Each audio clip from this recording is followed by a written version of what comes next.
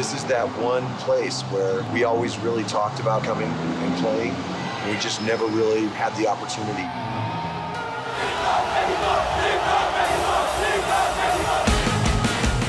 This is the only real major city we've never played, and it's it's a travesty.